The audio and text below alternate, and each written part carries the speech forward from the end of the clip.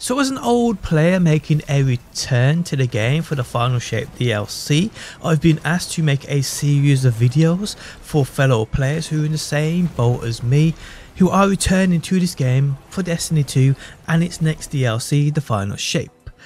Now there are a lot of videos out there who go through the best roles for certain items, this, that and the other, but this week guys, and I think until the Final Shape comes, you have a unique opportunity to earn even more loot. Today guys we go through the very best onslaught weapons and weapon rolls for both PvE and PvP. How's it going guys? My name is DPJ and if you do enjoy this video, hitting that thumbs up button really does help me out and if you like what you see and want to see more, make sure you subscribe and switch those notifications on. So I'm an old player making a return but I've been asked to make a series of videos for fellow players just like me on what they should be getting in prep for the final shape. This week forward we have a unique opportunity with Onslaught as it's now dropping double loot. This means you will not only earn twice as many trophies and twice as many weapons, those Onslaught weapons, but you will also earn a ton of engrams at the same time which you can cash in to drop other weapons outside of Onslaught. But with Onslaught being an activity which rewards you many many weapons itself, it actually makes sense to actually get the best uh, of what you can get before the final shape arrives. So in this video I will bring you the best of the best rolls for every weapon Onslaught offers for both PvE and PvP. So if you're looking for a certain weapon, if you're not sure on the best weapon rolls, if you need a certain weapon for a certain instance, this video should help you out. Now obviously, opinions do differ, and this is just my opinion. I have been away from the game for a long long while. So if you do think there is a certain role I don't mention today, do let everybody else know down below within the comments section. But first things first, head over to the Hall of Champions and focus into the weapon you want to see drop most from Onslaught and said chest where you cash in those trophies. Also what I will say is, the fastest way to farm weapons and Onslaught loot is in a team of 3 running the legend version up to around 10, killing the first boss and resetting and repeating this process. If you don't have a fire team and find the legend too hard, standard play where matchmaking is enabled will still earn you tons and tons of loot. Anyway, okay so let's get into the roles and what you should be chasing for both PvE and PvP. And we'll start with the Recluse. Okay, so we'll start with what in my opinion is the best PvP roles you should be looking for. First things first, the barrel. You want to have small bore or corkscrew here. Then you want to definitely have ricochet rounds. Then guys, what you want is dynamic sway reduction uh, and then you want tap the trigger master of arms or target lock here this will be a great great weapon for that pvp now onto PvE here, I'd again go with small bore corkscrew ricochet rounds, but then I'd probably look for something like subsistence and mastery of arms. This is kind of great, but if you're on a void build, and this is the particular one I'm looking for, I'm chasing right now, try and get repulsor brace and destabilizing rounds. This wouldn't be a miss whatsoever. Two great great perks which would definitely benefit you if you are on that void build. So yeah, keep an eye out for that one. Next up guys, we have the Hung Jury, the Scout Rifle. PvP, Hammerforge or Corkscrew, accurate rounds, then you want to have rapid hit or no distractions with box breathing or explosive payload. Uh, rapid hit and box breathing is quite decent too. I mean rapid hit and explosive payload is also great, but yeah, any of these guys, keep an eye out for them and definitely don't get rid.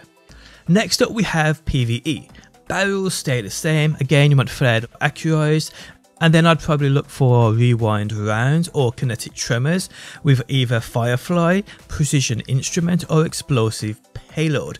Kinetic tremors and explosive payload, kinetic tremors or firefly, that is a great great combination. I actually have this myself, used it quite a lot and I love it. Okay, so we're going to move on to the Elsie's rifle. PvP. I'll go here, barrels, small bore or corkscrew, then I'll go ricochet rounds, then I'd want zen moment or keep away with either head seeker, kill clip or frenzy. Perfect for me here would be keep away head seeker, but hey, it differs for each person. PvE, small bore, corkscrew, ricochet rounds. Then you want to go with repulsor, brace, or rewind rounds. With destabilizing rounds or adrenaline junkie. I'm not going to say I'm the greatest fan uh, for Elsie's rifle in PvE, but hey, some of you may be. Okay, so next up, guys, we have the Succession Sniper. Okay, so PvP. Barrels, you want either fluted barrel or corkscrew. Then you want either tactical mag or accurized rounds.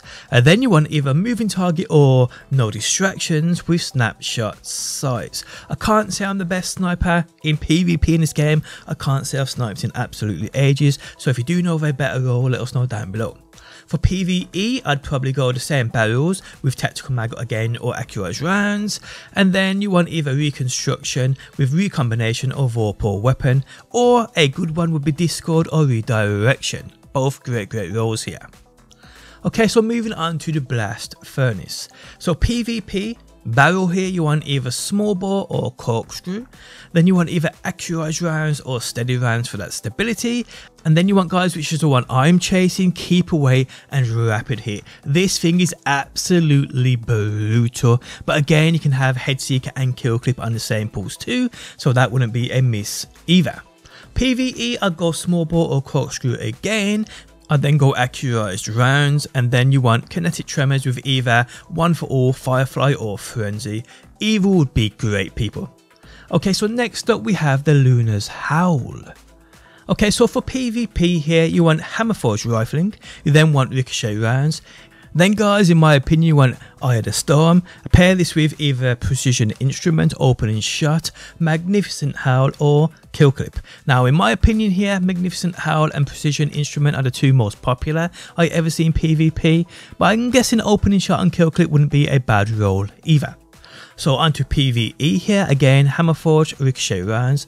Now it varies here because there's quite a few uh, reasons why hand cannons can be quite popular and potent within PvE, but Heal Clip is a great perk to have here. But my favourites are pairing Subsistence and Incandescent on a solo subclass, that's great, or Subsistence and Magnificent Howl, great.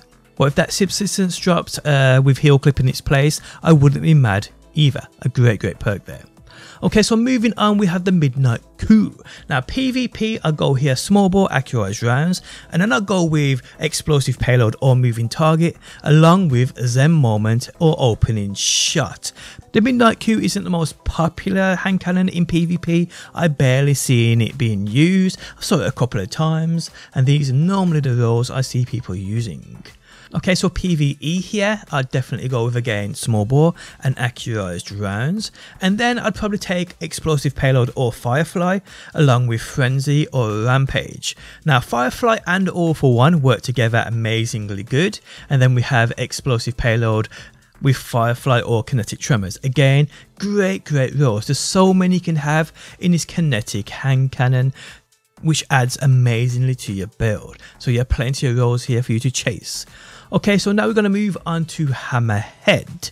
Uh, this is a heavy machine gun. So PvP here, Hammerforge rifling, extended barrel or small bore here, along with either high caliber rounds or ricochet rounds. Then you want under over in my opinion, paired with either killing tally or tap the trigger. This is the perfect and best PvP role you should be looking for. PvE, again Hammerforge, extended barrel or small bore in the barrel slot. Then I'll go with high caliber rounds or ricochet rounds again. And here guys, I'd probably check out something like Rampage and Envious Assassin for massive damage output and tons of bullets. But again, rewind rounds and onslaught is also a great one you shouldn't be turning your nose up at. Okay, so the next four weapons for me are PvE strict. I mean, I don't see anyone using these in PvP because it's just better variants in every option. Okay, so first up we have the Falling Guillotine, the sword. PvE role, remember. So first up you want Jagged Edge, no doubt, then you want Sword Master's Guard, and then guys there's a few options you can have here. Relentless Strikes, Chain Reaction or Repulsor Brace depending on what you want, paired with Surrounded, Whirlwind Blade, Destabilizing Rounds or Bait and Switch. There's plenty of DPS options right here. But any role pairing these two I definitely keep for the final shape because you never know what Bungie are going to do, you never know what they're going to change, but these pairings are definitely some of the best. But if you want something for boss damage, I'd definitely go with Frenzy and Whirlwind Blade or Frenzy and Surrounded. This would be absolutely great. Okay, so next up guys, we're going to move on to the Edge Transit. PvE again, remember, you want volatile launch, you then want spike grenades, then you want chain reaction and destabilizing rounds. This is great for ad clear, but if you want DPS guys, Envious Assassin, Cascade Point or auto loading holster paired with bait and switch. Bait and switch is unreal. I'd probably go with Envious Assassin, bait and switch for the best or even auto loading and bait and switch for the best roll you can get for that PvE and DPS. Okay, so next up guys, we have the Forbearance. Now this is a great, great grenade launcher many people are overlooking. Again, PvE, you want quicker launch paired with high velocity rounds. Then guys, you want Demolitionist and Wellspring. This for ag clearing is absolutely unreal because it allows you to get your engine back in utter unreal time. Now another role you can look out for is Unrelenting for the health regen or Envious Assassin to overflow the magazine paired with that chain reaction. These are great great perks and roles for the forbearance for PvE. Okay so lastly guys we have the mountaintop. Now the best PvE role I think you can get or the best couple of rolls you can get. You start off with hard launch or quick launch, either or. Then you want implosion rounds, and then guys you want envious assassin. This is great, uh, paired with uh, rampage, frenzy, all for one or adrenaline junkie. These are absolutely unreal. These perks paired together. But then guys, I definitely check out auto loading holster paired with recombination. This is probably the most popular I have seen and also a great PvE role. And there we have it guys, these are the best rolls you can get from the Onslaught weapons. Do your best to farm these guys, well it's double loot. I'm not sure if it lasts up to the final shape, I was told it was. I definitely know it lasts to at least weekly reset, so you have some time to get these uh, at a better rate, but either or, if it isn't double loot you can still farm these within the Onslaught and still get the best rolls possible. And there we have it guys, if you enjoyed the video leaving a like really helps out. If you like what you see and want to see more Destiny be sure to subscribe and hopefully guys I will see you on that next one. We all on YouTube every damn day, watching these vids of the brand new games. After many are the same. That's why you gotta go and find DPJ. Destiny gameplays, weekly snipes. Heavy uploads gonna have you a hype. Started in the UK, now he's worldwide. DPJ, go and subscribe.